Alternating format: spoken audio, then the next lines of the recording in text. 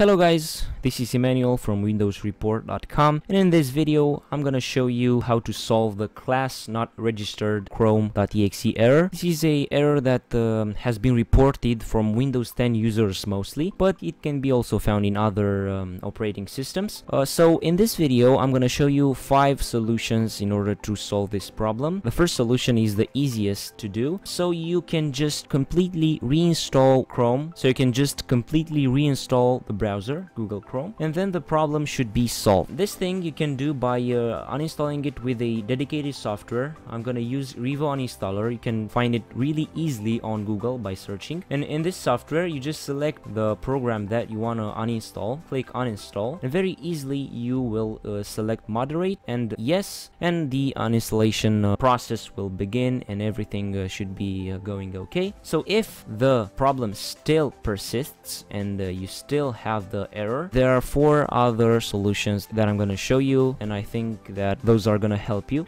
The second solution would be to delete some uh, registry files uh, from uh, Google Chrome and uh, we'll do that from the command prompt. In Windows 10 you just press uh, the Windows key plus Q in the same time. And then uh, you write CMD command prompt will pop up here. You just right click on it and then run as administrator. If the user account control appears uh, you just click yes. And here in the um, command prompt you just have to paste some uh, commands that uh, you, you're gonna find in the article of this video so in the command prompt um, you're gonna have to copy and paste one by one these commands you're gonna find them in the article of this video. You paste them one by one press enter and the things will be deleted. I'm not gonna run it because I don't have the class not registered error, but you do that and um, you should be okay. If the problem is not solved, don't close the video because I'm gonna show you three other solutions. The third solution would be to repin the um, Chrome browser in the start menu and that uh, should solve the issues. You just uh, unpin it from the taskbar by right clicking and uh, then uh, left click on unpin from taskbar. Then you just have to go on um, Windows plus Q as I said and uh, right clear this PC in order to um, go in the uh, old my computer and here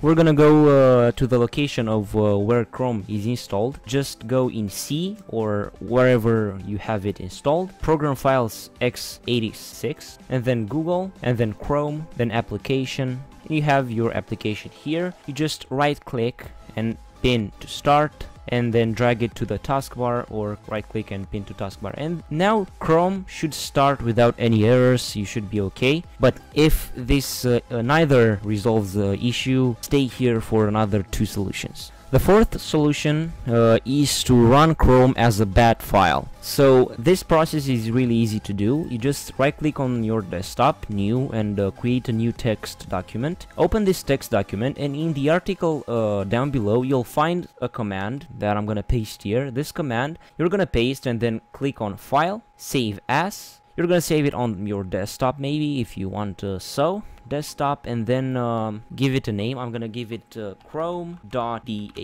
and uh, save. And this should solve your problem. So by doing this uh, you can run Chrome from here and you should not have any issues running it. It will be okay.